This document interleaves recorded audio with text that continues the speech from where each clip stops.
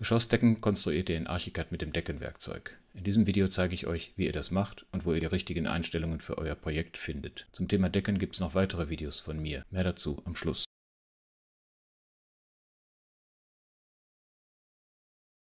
In Archicad zeichnet man Decken mit dem Deckenwerkzeug. Das findet man in der Werkzeugpalette.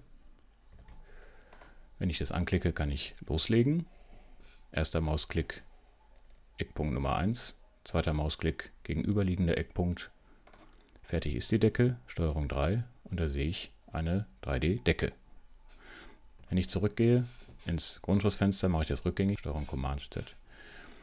Und fange nochmal an. Ich möchte es jetzt ein bisschen genauer machen und dazu vorab, es gibt hier oben die sogenannte Geometriemethode. Das ist das Infofenster und das Infofenster ist je nach gewähltem Werkzeug unterschiedlich. Wir haben jetzt hier Einstellungen für die zu zeichnende Decke.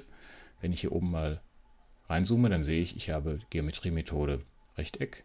Das habe ich gerade gemacht. Da reichen dann zwei Klicks. Geometriemethode Polygon reichen nicht zwei Klicks, weil dann hätte ich keine Decke. Ich muss mindestens drei Klicks setzen für eine dreieckige Decke und dann kann ich beliebig viele weitere Eckpunkte setzen und dann bekomme ich eben eine polygonal konturierte Decke.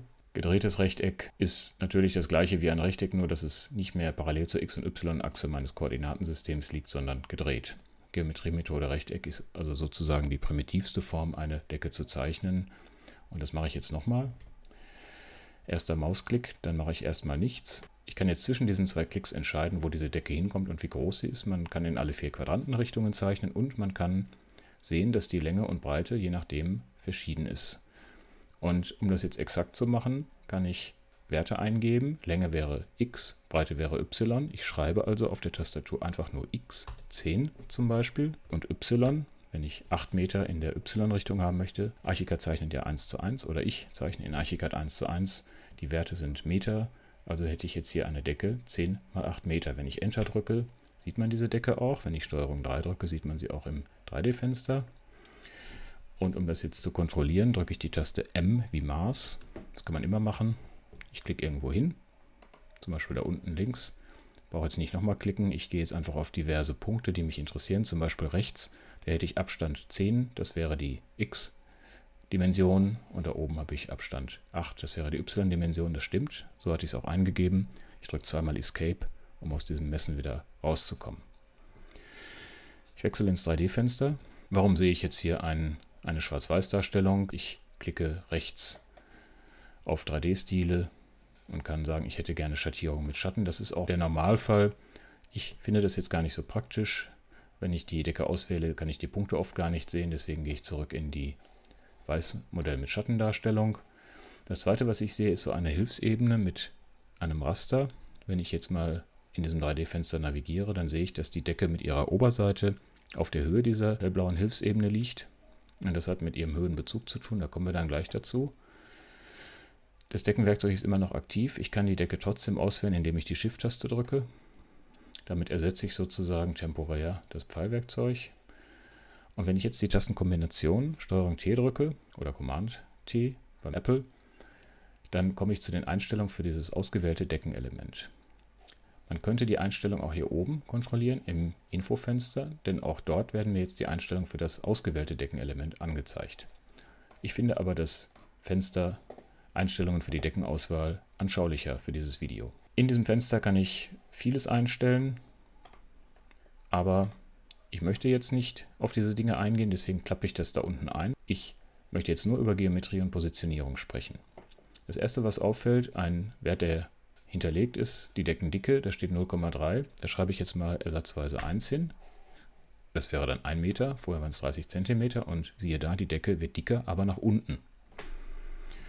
Wenn ich ins Einstellungsfenster zurückgehe, sehe ich auch, dass es hier so eine grafische Darstellung gibt.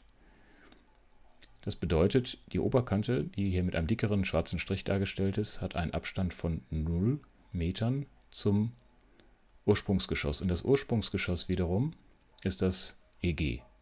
Man kann da draufklicken und sieht, es gibt auch ein OG. Und dieses EG hat also eine Basisebene, die auch noch in diesem Fall auf der Nullebene des Gesamtprojektes liegt. Und der Abstand dieser Decke ist jetzt bezogen auf ihre Oberkante 0. Und alles, was an Dicke dazukommt, geht nach unten. Dazu zwei Dinge. Erstens, dass die Oberkante genommen wird als Bezug, liegt daran, welche Referenzebene hier gewählt ist. Da ist die Oberkante gewählt. Man könnte auch die Unterkante wählen, dann sieht das hier auch anders aus. Wenn ich jetzt auf OK gehen würde, dann sieht man, dass die Decke auf einmal nach oben wächst.